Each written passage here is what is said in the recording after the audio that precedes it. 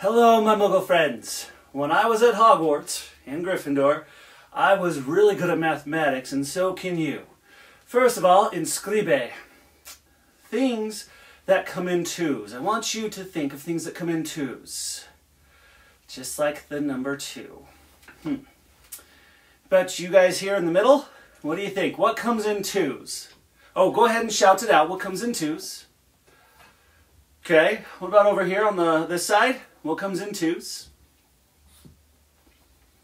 Okay, I heard some good answers there. What about over here on this side? What comes in twos? One more time. Then Inscribe. So, we have eyes, ears, hands, chopsticks, Twix, mm, Twix, left or right?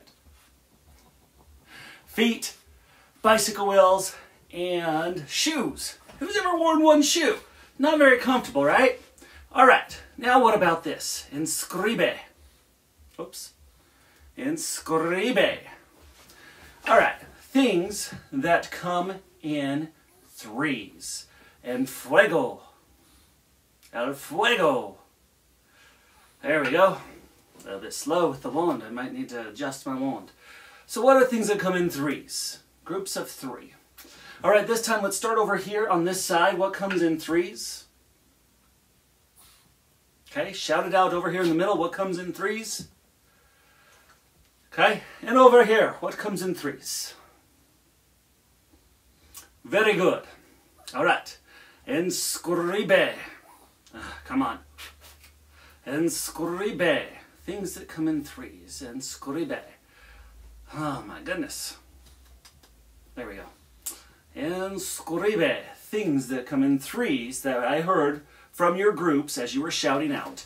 There were the sides of a triangle, stoplights, red, green, and yellow, uh, tricycle wheels, and also, and I can't read it backwards, trilogies. Who likes trilogies?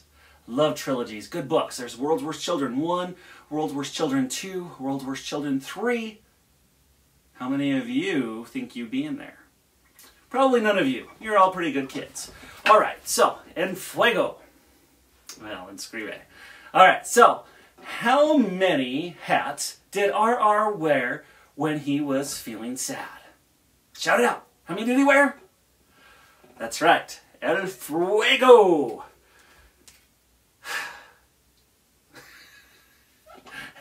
two, right? He wore two hats when he was feeling sad.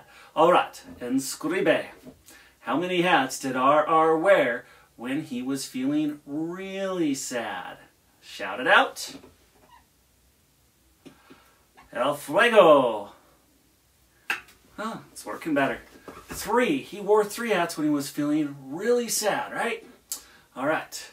El, el fuego. Escribe. There's some good hats, right? All right, so how many hats would four people wear, need, if they were feeling sad? Hmm. Go ahead and pause this, and your teacher will hit play in just a moment. You're going to solve how many four, how many hats four people would need if they were feeling sad. Press pause. All right, so we know we've got four people, right? Four people times the number of hats. And if you remember from the book, they wore two hats when they were sad. So 4 times 2 is 8. Put some clothes on that number. Hats. 4 times 2 is 8, right? All right, next one. El fuego. Good job. Inscribe. Inscribe. Inscribe. Come on. There we go. How many hats would four people need who were feeling really sad or very sad? Hmm. Go ahead and press pause. You're going to solve that one as well. All right, welcome back. So, we are trying to figure out how many four people would need who were feeling very sad. We know that four people, and then we would times that by the number of hats, and they each needed three hats if they were feeling very sad. So, that would be four times three. Now, if I knew four times two, which is pretty simple, was eight, Could add four more onto that and realize that four times three equals 12. 12 what? 12 hats. no naked numbers. Make sure, oh, I gotta quit pointing this at you. It might do something. Might turn you into a toad or something, right? All right, now, El Fuego. Look at this times tables chart. You can see that right over here we have the people and the number of hats. So, the number of people times the number of hats. So, let's think about this. El scribe. The swan. El scribe. All right. While this is slowly doing its work, there we go. And I have to get a little closer. So, how many hats would two people need on three hat day? So, remember, we've got two people, and then we've got three hat day. How many would they need?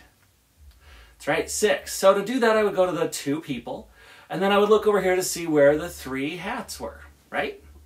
Okay, so then I would be able to answer that right there, 12.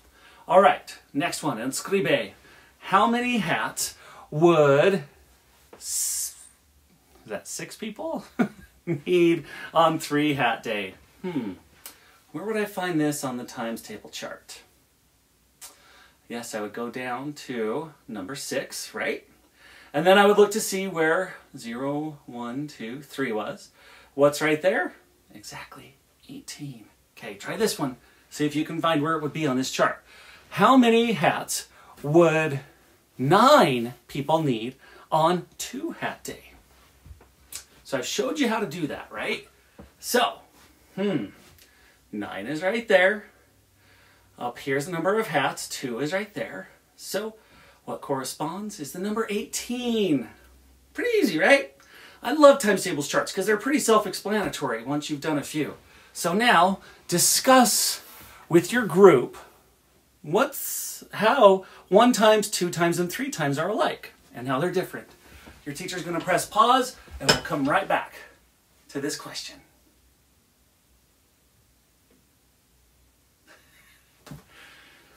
This wand, I tell you.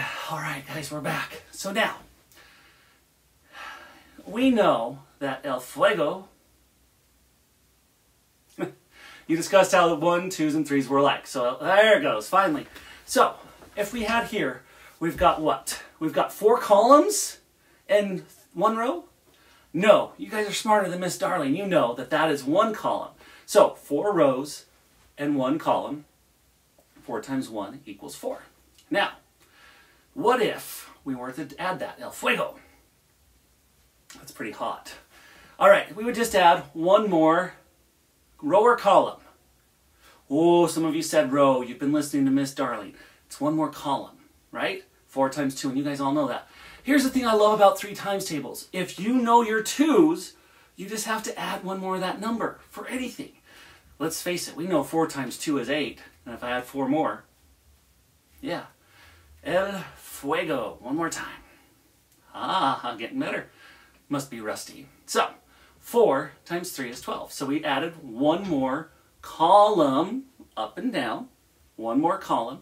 So 4 times 1 is 4, 4 times 2 is 8, 4 times 3 is 12. Now, I think you're ready.